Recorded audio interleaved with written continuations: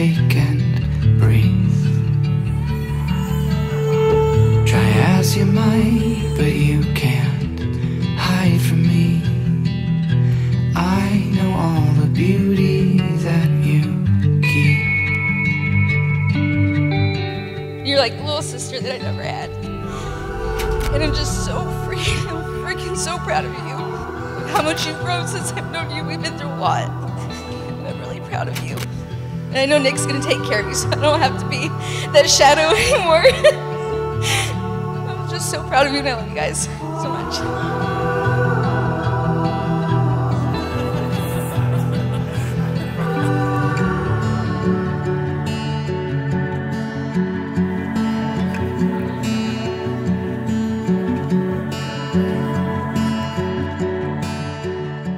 It is the honor of a lifetime for me to be standing with this precious couple and their families to celebrate this wonderful event. And I am sure that Barry is ready to drop the puck on the festivities this evening.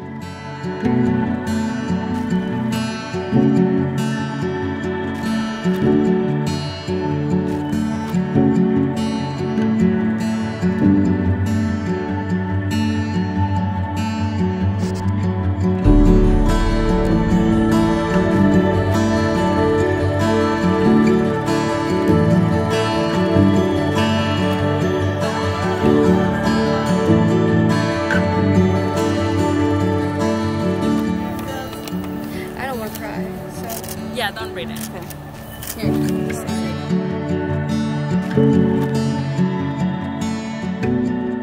Jordan, if I could have told you stories prior to this day, you might have regretted your decision. I've got pictures and stories on this phone that you shall never see.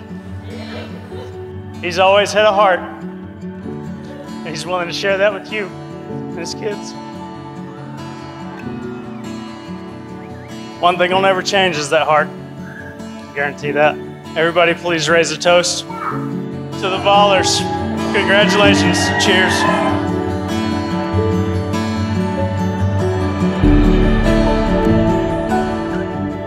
Jordan, take my hand. Let me make you mine. I'm through waiting, taking my time. Never felt like this before. Take my name, make it yours. Dear Lord, we thank you for each and every day that is given to them in this life together. In deep gratitude of your constant and abiding grace, we pray. Amen.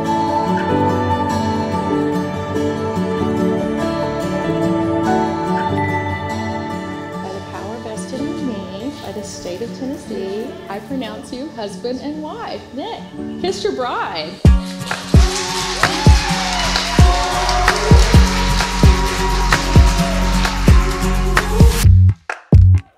Gazing never mean a thing. His words never sound quite right. Let's find our own kind of language. We have searched the whole world,